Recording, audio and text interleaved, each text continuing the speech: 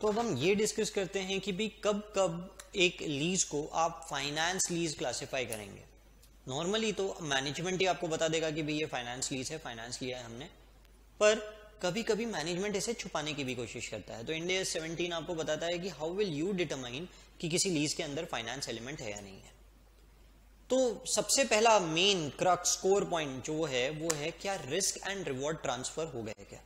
Check कर लो कि asset से related risk and reward transfer हो गए। यानी एग्रीमेंट में ऐसा पॉइंट है कि एसेट में अगर कुछ भी खराबी हुई तो आपको रिपेयर करना है। एसेट अगर इस कदर खराब हो चुका है कि अब उसे यूज़ ही नहीं किया जा सकता तो जो लॉसेज लेसर को होने वाले हैं, यानी आगे के फ्यूचर एंड्स के, वो भी पूरे लेसी को बेयर करने पड़ेंगे।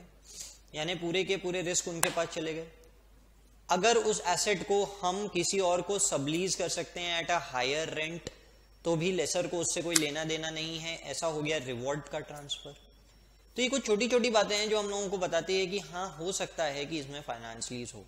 तो ऑडिटर को बहुत केयरफुली इन पॉइंट्स को जज करना पड़ता है।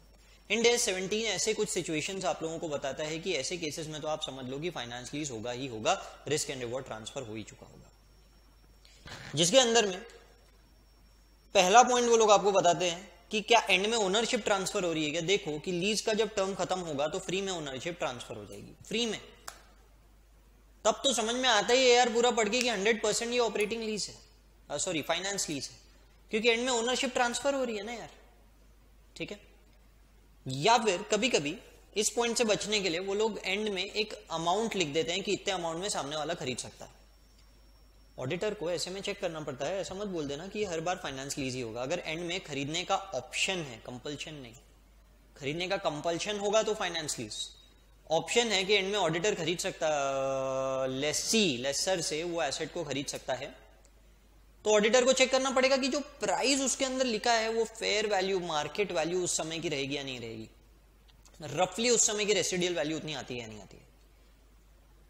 तो आप मैनेजमेंट से ही ऑब्वियसली सब मंगाओगे वैल्यूएशन वगैरह के चार्ट्स एंड अदर थिंग्स की हमको ये बताओ कि ये उसकी उस समय की फेयर वैल्यू कितनी रहेगी एसेट की अब सपोज़ जो भी फेयर वैल्यू निकल रही है, दस लाख रुपए निकल रही है, दस लाख में बेच रहे हैं तो ठीक है यार ऑपरेटिंग लीज है। फाइनेंस लीज कुछ नहीं है इनमें उसको ऑप्शन दे दिया, तुझे फेयर वैल्यू में खरीदना खरीद, नहीं खरीदना मत खरीद। अब बहुत सारी जगहों पे इस तरह की लीजेस बहुत कॉमन होते हैं ऑपरेटिंग लीज वाले पार्ट की बात कर रहा हूँ। जैसे क्या होता है, बहुत सारी जो फैक्ट्रीज होती है, उन्हें पावर का इंडिया में थोड़ा प्रॉब्लम चलता ही है। तो डीजल बेस्ड बहुत सारे प्लांट्स है जो ऑल ओवर इंडिया चलते हैं। या सी सीएनजी बेस्ड अब क्या हुआ? Solar is the new energy form that everyone knows तो अब बहुत सारे लोग सोलर में इन्वेस्ट करना चाहते हैं, पर ये इन्वेस्टमेंट छोटा मोटा इन्वेस्टमेंट नहीं है, बड़ा इन्वेस्टमेंट है। So what people do is बहुत सारे लोग यही बिज़नेस करते हैं कि जाते हैं, भाई तो तेरी फैक्ट्री में पूरा का पूरा सोलर पैनल्स हम लगा के देते हैं। एक रेट डिसाइड हो जाता है कि जितना भी इलेक्ट्रिसिटी कंज्यूम होगा पर यूनिट यू विल पे अस तुम जितना इलेक्ट्रिसिटी कंज्यूम कर रहे हो पर यूनिट यू विल पे अस और यू हैव द ऑप्शन तुम चाहो तो हर साल की एक फेयर वैल्यू डिटरमाइन कर लेते हैं, ये फेयर वैल्यू पे तुम चाहो तो इस एसेट को खरीद सकते हो। अभी दस साल का कॉन्ट्रैक्ट हो गया। अभी पूरे के पूरे कॉन्ट्रैक्ट में बेसिकली वो जो पावर है, वो पूरा का पूरा एक ही बंदा कंज्यूम कर रहा है, सब कुछ है, और उसके पास ऑप्शन है कि वो चाहे तो फेयर वैल्यू पे परचेज कर सकता है, नहीं तो अपन पैनल्स निकाल के लेके चले जाएँगे। क्या ये टेक्निकली फीजिबल है? हमको देखना पड़ता है कि पैनल्स हम लेके निकाल के लेके चले जाए। क्योंकि ये टेक्निकल फीसिबिलिटी वगैरह हम जब ये चैप्टर एंड करेंगे, तब इस बारे में बात करेंगे। अपेंडिक्स में थोड़ी और नई बातें हैं जो हमको डिस्कस करना है। तो हम बहुत सारी बातें देखते हैं, हम देखते नहीं यार, वो बंदा चाहे तो लेके जा सकता है सोलर पैनल अपन ने मना कर दिया, वो किसी और के यहाँ यही सोलर पैनल निकाल के दूसरी जगह लगा देगा। तो बंदे का ऑप्शन भी है, वो कर भी सकता है। पास में उसने शायद किया भी होगा, या फिर नया बिजनेसमैन है तो भी लग रहा है कि हाँ यार, कर सकता है। And we have the option to purchase at a fair value ऐसे में मैं फाइनेंस लीज नहीं बोलूँगा। अरे क्यों बोलू फाइनेंस लीज भले दस साल का लीज एग्रीमेंट होगा, फिर भी फाइनेंस लीज बोलने का सवाल ही नहीं उठता। हो सकता है एसेट की लाइफ बीस साल हो। पॉइंट क्लियर है यहाँ तक के। तो ऐसे लीजेस भी ऑपरेटिंग लीज हो जाते हैं। सो लेसी गैस ऑप्शन है खरीदने का, पर अगर ऑप्शन मार्केट प्राइस से बहुत ही कम प्राइस के ऊपर है मार्केट प्राइस से बहुत ही कम प्राइस पे है तो ऑडिटर को डाउट कर लेना चाहिए कि नहीं यार ये फाइनेंस लीज होगा। क्योंकि वो जो डिफरेंशियल अमाउंट है आज अपन रिकवर कर रहे होंगे, और सामने वाला आज अगर एक्स्ट्रा पे करने को तैयार है इसका मतलब कहीं ना कहीं एक फाइनेंशियल ट्रांजैक्शन है rather than being a lease transaction lease is the major part of the asset being transferred major part of the economic life of the asset being transferred अब देखो, जैसे कार की अगर हम बात करें तो हमारे देश में जो मोटर व्हीकल एक्ट है, उसके अकॉर्डिंगली एक कार की इकोनॉमिक लाइफ 14 इयर्स होती है। कार 14 इयर्स चल सकती है। ना सपोज़ आपने एक कार को लेके लीज पे दे दिया ऑफ़ 10 इयर्स तो मैं बोल सकता हूँ कि मेजर इकोनॉमिक लाइफ तो सामने वाला ही यूज़ कर ले रहा है एसेट की. क्योंकि मेजर इकोनॉमिक लाइफ सामने वाला ही यूज़ कर ले रहा है, मैं ऐसी लीजेस को फाइनेंस लीज बोलूँगा. मेरे लिए ऐसे लीजेस फाइनेंस लीज होंगे, ठीक है? मेजर इकोनॉमिक लाइफ सामने वाला यूज़ कर रहा है. ये हम जज कैसे करते हैं कि कितने पॉइंट पे मेजर होगा? जनरली 90 परसेंट और मोर जनरली तो जैसे यहाँ पे 10 डिवाइडेड बाय 14 कर रहा हूँ तो करीब करीब 71 परसेंट आ रहा है। तो भी मैंने बोल दिया, नहीं है फाइनेंस लीज है। क्यों? क्योंकि ऑलमोस्ट दिख रहा है यार 14 ईयर्स में से 10 ईयर्स यूज़ कर रहा है। अब ऐसा कोई क्राइटेरिया नहीं है कहीं पे डिफाइंड कि भाई इतना परसेंटेज आना चाहिए, ऐसा कहीं नहीं है। बस ये मेजर वर्ड यूज़ हुआ हम जनरली अज्यूम करते हैं कि 90 परसेंट के ऊपर। So depends from industry to industry यहाँ पे आप बोल दोगे ऑपरेटिंग लीज है तो भी मैं कुछ बोल नहीं सकता क्योंकि 71 परसेंट ही है। पर डिपेंड करता है कि 10 साल बाद सामने वाला इस एसेट का क्या करने वाला है। उसमें बोले नहीं, अपन तो बेच देंगे यार ये एसेट को, अपन यूज़ नहीं करेंगे।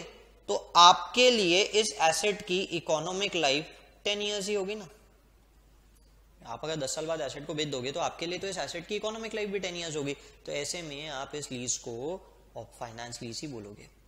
Else you can say it is operating lease. Clear है यहाँ तक so this is the concept of major life अब इसमें सबसे बड़ी दिक्कत होती है लैंड लीज भाई लैंड लीज पे दिया तो लैंड की लाइफ तो अनलिमिटेड होती है। लैंड के ऊपर जो बिल्डिंग है, उसकी लाइफ आप बोल सकते हो। लैंड की लाइफ कैसे बताओगे? लैंड की लाइफ तो अनलिमिटेड होती है। तो अगर लैंड की लाइफ अनलिमिटेड होती है तो इसमें फाइनेंस लीज हो सकता है क्या? ऑब्वियसली नो वो ऑपरेटिंग लीज ही होगा। कहीं ना कहीं वो ऑपरेटिंग लीज ही होगा। यहाँ तक समझ में आया। सर अपन ने एक एग्ज़ाम्पल देखा था Ind AS two nine ninety nine years पे लैंड लीज पे लिया था। Ind AS sixteen nine ninety nine years पे लैंड लीज पे लिया गया था और आपने उस पर डिप्रिसिएशन चार्ज करवाया था। Yes yes. जब आप लैंड लीज पे लेते हैं और उसकी लाइफ लिमिटेड लाइफ होती है तो हम ऐसे में उस एसेट को, यानी अगर आपको लाइफ पता है तो ऐसे में हम उस एसेट पे फाइनेंस लीज का कॉन्सेप्ट लगा सकते हैं। जैसे कि आप, अगर आपको गवर्नमेंट से कोई जगह लीज पे मिली है गवर्नमेंट से कोई जगह पचास साल की लीज पे मिली है, ना नॉर्मली सारे के सारे अपने जितने भी घर है, जो भी है ऑफ़िस है, जो भी है, ये सब कुछ लीज पे ही होते हैं। गवर्नमेंट की लीज होती है, हर दस साल में हमको रिन्यू करना पड़ता है, दस साल, पंद्रह साल, बीस साल अलग अलग पीरियड रहता है। अब सपोज़ ऐसी कोई गवर्नमेंट से अपन ने जगह पचास साल के लिए ले ली। ठीक है गवर्नमेंट से ऐसी कोई जगह अपन ने ले ली, कितने साल के लिए ले ली? पचास साल के लिए ले ली। लीज पे। पचास साल बाद गवर्नमेंट को लौटाना है। सब नॉन रिन्यूएबल क्लॉज है। तो ऐसे में तो लैंड विद लिमिटेड लाइफ हो गया। अब अगर इस लैंड को अपन किसी को रेंट पे देते हैं रेंट पे देते हैं तो वो फाइनेंस लीज में आ सकता है, अगर आपने मेजर इकोनॉमिक लाइफ सामने वाले को दे दी। सर, ये तो सब लीज हो गया ना गवर्नमेंट से आप लीज पे ले रहे हो। देखो, मैं आपको एक प्रैक्टिकल सिनेरियो बता रहा हूँ। बेसिकली हम परचेज करते हैं गवर्नमेंट से, पर होता वो लीज है, क्योंकि उसका टाइम पीरियड डिपेंड होता है कि इतने समय के लिए ये जगह आपको मिल रही है। लॉजिक वो होता है, उसके पीछे और कुछ ठीक है? At the inception of the lease present value of minimum lease payment is substantially equal to fair value of the asset present value of minimum lease payment there is a new term जो हम लोगों को समझना है which is minimum lease payment और वो minimum lease payment की जो भी प्रेजेंट वैल्यू आ रही है, वो प्रेजेंट वैल्यू अगर फेयर वैल्यू के इक्वालेंट है एसेट की तो भी हम बोल देते हैं कि फाइनेंस लीज है। What do you mean by minimum lease payment let's see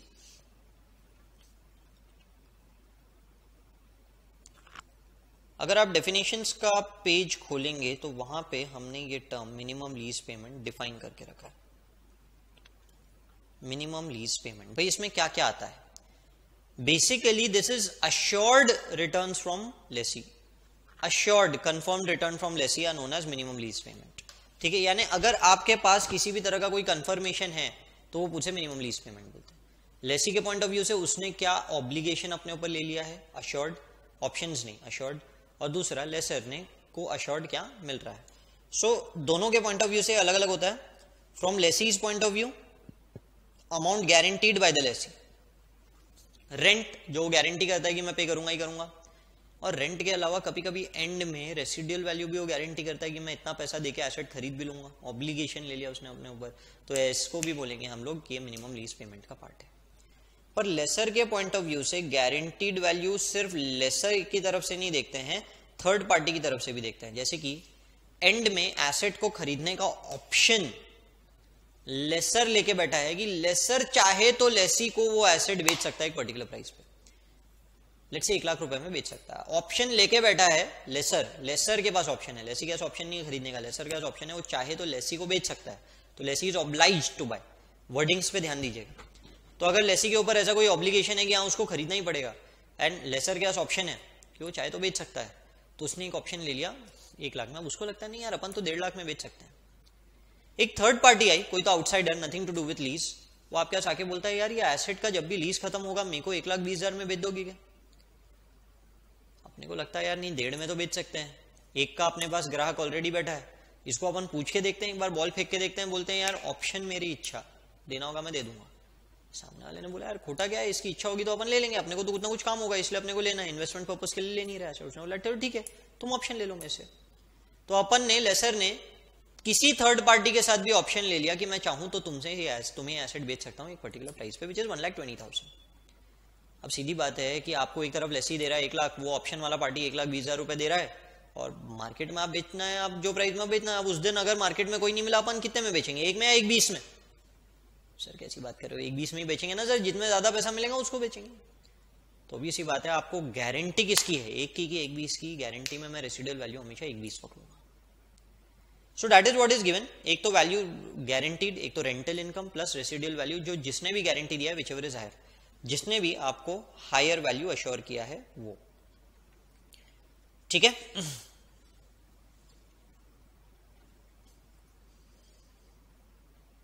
इसका भी एक एग्ज़ाम्पल देखेंगे हम लोग। कि जैसे लेसी ने फाइव लाख पर एनम का वो रेंट पे करने वाला है for the next five years plus one lakh end of fifth year पे वो कार के दे देगा। कोई भी कार रैंडमली ले लेता है। और लेसर के पास ऑप्शन है one lakh from lessee two lakh from third party three lakh expected वो एक्सपेक्ट करेगी तो तीन लाख में भी देगा तो अगर मैं एमएलपी बोलू minimum lease payment from the point of view of lessee अभी लेसी को कोई नहीं बताता कि उसने थर्ड पार्टी से भी एग्रीमेंट करके रखा है। लेसर ने थर्ड पार्टी से भी एग्रीमेंट करके रखा है लेसर कभी नहीं बताएगा डिस्क्लोज नहीं करेगा। तो लेसी के लिए मिनिमम लीज पेमेंट में आता है rent of five lakhs for the next five years plus one lakh जो उसने अश्योर किया है। लेसर के पॉइंट ऑफ़ व्यू से हो जाता है फाइव लाख रुपीज़ जो उसे नेक्स्ट फाइव ईयर्स गारंटी मिली है प्लस टू लाख जो उसे अश्योर हुआ है। तीन लाख नहीं लेंगे क्यों? क्योंकि वो दो और ये तीन का जो डिफरेंस है, एक लाख ही आ रहा है, वो अनगारंटीड रेसिडियल वैल्यू उसकी किसी ने गारंटी नहीं दिया अनगारंटीड रेसिडियल वैल्यू अब ये फाइनेंस लीज है या नहीं, इसके लिए हम लोग क्या चेक करते हैं? इसके लिए हम लोग चेक करते हैं कि इसका present value equivalent to fair value of the asset आ रहा है या नहीं आ रहा है। फाइनेंस लीज है या नहीं देखने के लिए हम लोग इसका प्रेजेंट वैल्यू निकालते हैं हमेशा और फिर चेक करते हैं।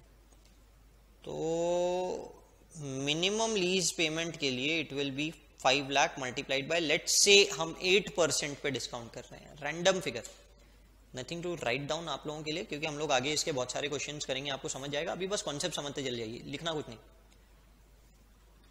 मैं आठ परसेंट से एक बार इसका एन्यूटी फैक्टर निकाल लेता हूँ। रैंडमली लाया मैंने आठ percent.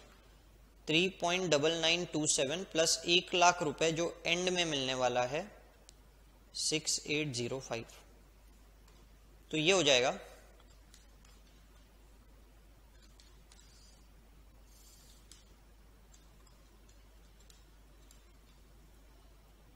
Twenty point six four four lakhs अब सपोज़ कि एसेट की जो फेयर वैल्यू है वो ट्वेंटी वन लैख है। एसेट की आज का बाज़ार भाव इमीडिएटली परचेज बाज़ार भाव ट्वेंटी वन लाख है। तो अगर मैं डिवाइड करके देखूँ ट्वेंटी जो मुझे मिल रहा है बाय 21 तो ये करीब करीब 98 परसेंट आ रहा है। So when present value minimum lease payment is almost equal to fair value almost equal to fair value ये फाइनेंस लीज हो जाएगा। यानी यहाँ ऑडिटर को डाउट हो जाएगा कि यार पाँच साल के अंदर सामने वाला इतना पैसा दे दे रहा है जितना आज के उस एसेट की फेयर वैल्यू हो जाती है। पाँच साल में सामने वाला आपको इतना पैसा दे रहा है which is equal to the fair value of the asset today ये पक्का फाइनेंस लीज ही होगा। ठीक है? But if fair value is thirty lakhs तो twenty point six four four divided by thirty ये आता है sixty eight point eight percent this is not equal to ninety percent तो ये हम बोल देंगे, नहीं यार ऑपरेटिंग लीज है. सर 90 परसेंट क्राइटेरिया दिया हुआ है इंडियस के अंदर? नहीं। इंडियस में ऐसा कोई क्राइटेरिया नहीं दिया। इंडियस तो बोलता है ऑलमोस्ट इक्वेलेंट हो तो हम लोग मानते कि नहीं यार 90 परसेंट के ऊपर होगा। क्योंकि एज अ स्टूडेंट हम लोग जब एग्ज़ाम दे रहे हैं तो हमें हमें एक परसेंटेज चाहिए।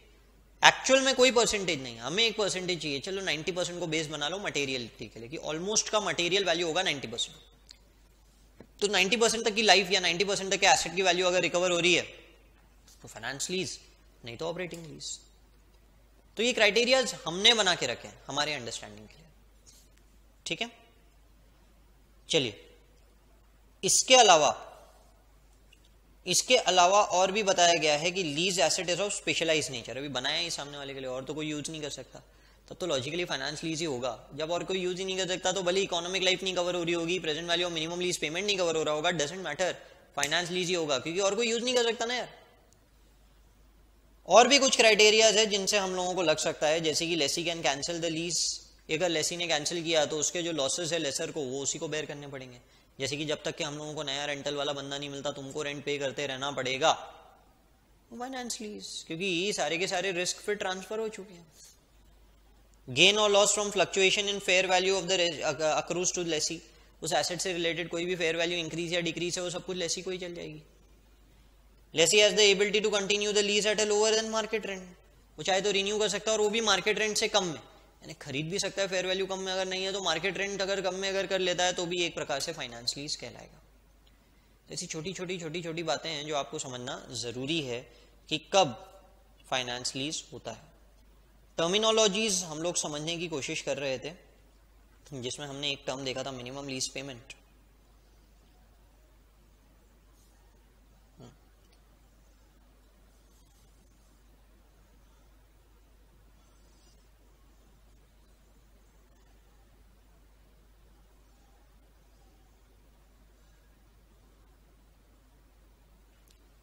उससे रिलेटेड एक एग्ज़ाम्पल है, समझने के लिए।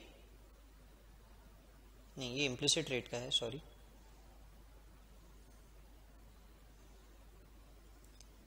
एग्ज़ाम्पल नंबर टू जो आपको बताता है कि भाई इसमें से क्या क्या मिनिमम लीज है, बता दीजिए। तो calculate the minimum lease for A limited who to can asset for five years lease तो जैसे कि लीज का रेंट है वन थाउज़ेंड पर मंथ तो डेफिनेटली ये आपके लीज मिनिमम लीज पेमेंट का पार्ट हुआ, क्योंकि ये गारंटी किया है। कॉन्टिजेंट रेंट मतलब वो रेंट जो कोई इवेंट के होने पे मिलेगा, नहीं तो नहीं मिलेगा। जैसे कोई सेल्स टारगेट हो सकता है, या फिर कोई एक पर्टिकुलर लोकेलिटी के अंदर में फेयर मार्केट वैल्यू इतनी ऊपर गई तो या नीचे, यानी सम कॉन्टीजेंसी तो जब हम चेक कर रहे हैं कि फाइनेंस लीज है या नहीं, उसके लिए हम ये टर्म मिनिमम लीज पेमेंट देखते हैं। मिनिमम लीज पेमेंट लेते समय हमने एक अनगारंटीड रेसिडियल वैल्यू देखा था। बराबर है कि रेसिडियो एंड में लेसर एक्सपेक्ट कर रहा है ज़्यादा, पर एक्चुअल में गारंटी कम की है तो मिनिमम लीज पेमेंट में गारंटी लेते हैं। तो फाइनेंस लीज है या नहीं ये चेक करने के लिए एक्सपेक्टेशन नहीं देखी जाती। तो कॉन्टीजेंट रेंट भी तो एक्सपेक्टेशन है। वो इवेंट हुआ तो मिलेगा। इसीलिए इसे भी मिनिमम लीज पेमेंट का पार्ट नहीं माना जाता।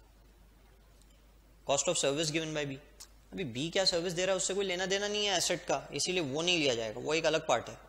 Taxes to be reimburse by B अब आपको टैक्स लग रहा है, पर वो रीम्बर्स हो जाएगा बी की तरफ़ से तो उसको लीज का पार्ट मत मानिए। रेसिडियल वैल्यू गारंटीड ये तो लेना ही है। Fair value of the asset after five years six thousand तो वो तो फेयर वैल्यू है गारंटी से पाँच हज़ार की है। Also A limited has option to purchase at the end of fifth year for two thousand दो हज़ार रुपए में वो चाहे तो इस एसेट को खरीद सकता है।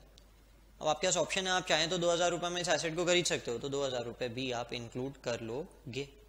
सर रेसिडियल वैल्यू भी दिया है और ऑप्शन टू बाय भी देके रखा है। इस क्वेश्चन में उन लोगों ने दो तरह से रेसिडियल वैल्यू और ऑप्शन को बांट दिया। उन्होंने बोला, एक एंड में जब एसेट की लाइफ खत्म हो जाएगी, पाँच साल यूज़ करने के बाद में लेसी पाँच हज़ार और देगा। खरीद लेगा एसेट ऐसा नहीं बोला, पाँच हज़ार देगा। एसेट भली उसको ना मिले। ये उसने गारंटी दी। और उसने बोला है कि पाँच साल बाद मैं चाहूँ तो दो हज़ार रुपए में इस एसेट को खरीद भी सकता हूँ। ऑप्शन तो अभी सी बात है, ये जो ऑप्शन है, ये एक तरह से लेसी के ऊपर ऑब्लिगेशन है। तो he will consider this also and for lessor तो ये गारंटीड है। सामने वाले को 2000 में वो बेच सकता है। तो इसीलिए वो भी उसे कंसिडर करेगा। So these are the amounts that you need to consider while uh, calculating the uh, to check whether it is or not. हम इन सब की प्रेजेंट वैल्यू निकालते हैं। हम इन सबकी प्रेजेंट वैल्यू निकालते हैं। Minimum lease payment is not present value हम present value of minimum lease payment निकालते हैं। तो आपको कुछ इस तरीके से समझना पड़ेगा। कुछ और टर्मिनोलॉजीज है commencement of lease inception of lease so inception of lease is a date on which आपने लीज एग्रीमेंट किया। अब उसी दिन लीज शुरू हो जाएगा, ऐसा नहीं होता ना। जैसे सपोज़ सीए बनने के बाद में आपको प्रैक्टिस करना, आप मेरे पास आए। मेरे पास एक एक्स्ट्रा क्लासरूम थी, खाली पड़ी थी। आपने मुझे बोला कि, सर, आप मुझे वो जगह रेंट पे ऊपर दे दो। मैं वहाँ मेरा प्रैक्टिस स्टार्ट करूँगा। मैंने भी बोला, यार, खाली पड़ा, आपने हो गया, दिक्कत है, चलो रेंट पे दे देते हैं। अभी अपन ने बस पहला दिन है, अपन ने एग्रीमेंट किया कि, सर एग्रीमेंट कर लो कि बोले, आप ये क्लास मुझसे मतलब ये जगह वापस से लोगे नहीं। कम से कम पाँच साल के लिए, मैं पाँच साल इसको यूज़ करूँगा। अपन ने बोला हाँ यार एग्रीमेंट रहना चाहिए, नहीं तो सामने वाला भाग गया बीच में ही तो अपन क्या करेंगे? तो एग्रीमेंट हो गया। पर एग्रीमेंट होते से ही सामने वाला वहाँ पे प्रैक्टिस करने नहीं बढ़ेगा वो क्लासरूम है ना यार। ऑफ़िस के लायक बनाना पड़ेगा। फ्लोरिंग वगैरह पूरी की पूरी चेंज करनी पड़ेगी, फिर उसके बाद में ऑफ़िस के अंदर में पूरा का पूरा जो अरेंजमेंट है, वो पूरा का पूरा उस तरीके से करना पड़ेगा कि हाँ लगे यार ऑफ़िस ऐसा नहीं लगना चाहिए कि कोई क्लासेस है। तो आपको भी खर्चा करना और मुझे भी काफ़ी सारे वो इलेक्ट्रिक पॉइंट्स वगैरह सब आपको बताना पड़ेगा, वो सब चीज़ें मुझे भी वर्किंग करनी पड़ेगी पेंटिंग वेंटिंग वगैरह, यानी आप भी ऑब्लाइड है फर्नीचर वगैरह बनाने के लिए मैं भी ऑब्लाइड हूँ। अब इस काम को टाइम लगेगा फिट आउट पीरियड लगेगा। फाइनली वो फिट आउट पीरियड खत्म होगा और फिर रेंट शुरू होगा, तब तक के रेंट फ्री पीरियड बोलते हैं। So the date we enter to agreement is the date of inception और जिस दिन से लीज में फाइनली आप वहाँ रहने आ गए या जो भी रेंट शुरू हो गया is consider to be commencement of lease so there a difference between inception and commencement एक छोटा सा एग्ज़ाम्पल दिया है। A lessee may sign an agreement to lease a car on 31st March but does not take the delivery until 30th June 2001. Lease classification is made at the inception of the lease that is 31st March. यानी finance lease है operating lease ये हम 31st मार्च को check करेंगे पर जो lease की accounting है वो हम लोग 30th जून से ही शुरू करेंगे सो आई होप ये पूरा का पूरा लॉजिक और कॉन्सेप्ट समझ में आया होगा फाइनेंस लीज से related so we end this video over here and then we'll speak about the accounting aspect